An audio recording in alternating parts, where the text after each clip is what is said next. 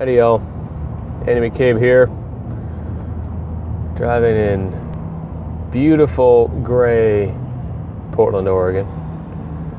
Came into town to look at a few losses today and tomorrow. Just get her done. Saw a post today that uh, this uh, water damage guy was was complaining about the number of plumbers and national franchise plumbing outfits that were opening their own emergency services and water damage departments uh, and taking work away, as he put it, taking work away from from good water companies like himself. Well, what else did you expect? Somebody, some genius said, Man, if I go give $50 to a plumber, they're going to give me a referral. They're going to give me these leads. For each one of these leads, I'll give them 50 bucks. And then the next genius says, Man, I've got an even better idea. Let's make it a $100. And all these geniuses decided to rack, run this What's what's the going rate in your market? 500 bucks for a water damage lead? I would guess it's right in there. 500 bucks. I've I've heard of them up to a thousand, but that's a lot of money. So, what did you expect? Once you give a couple thousand dollars worth of referrals to a plumber, do you think they're not going to notice that you don't have a problem paying them that kind of money? for these water damage leads and go, hmm, there must be something to this water damage thing. Let's check it out. It doesn't look that hard. I mean, I see them, they got their fans, they got their extractors. How hard can this be? So, I have a hard time feeling sorry for folks that that are complaining that the water damage mitigation companies of the world created this market. And and here's the other thing. Who is going to stop them? It's a free country.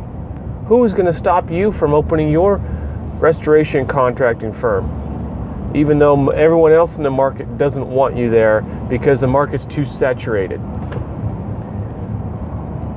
I think I said yesterday, and I'll say it again the market is never going to be saturated. There's never going to be enough service providers because we are in a a a global, or at least in the United States, a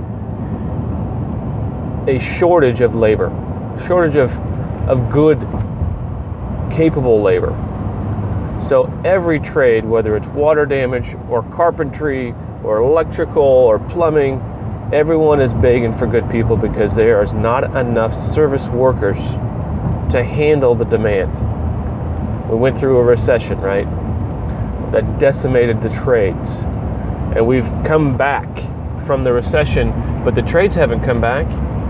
These these long apprenticeship programs that people used to get into out of high school as, a, as an alternative to college, people weren't going into the trades in 08, 09, and 10.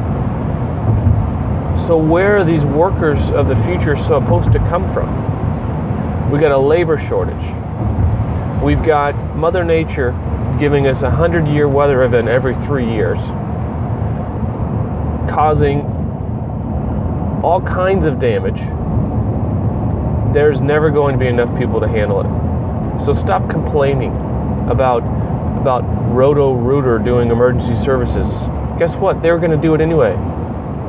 And I really don't want to hear it when Home Depot jumps into the mix. Take care of yourself stay in your lane, do good work, and there always will be work. Or you don't like it, get out. Find something better to do with your time. Because water damage is, is not glamorous. It's not easy, and man, it's hard to make money. Really. I'm not just saying it. It is hard to make money. Especially the way things are going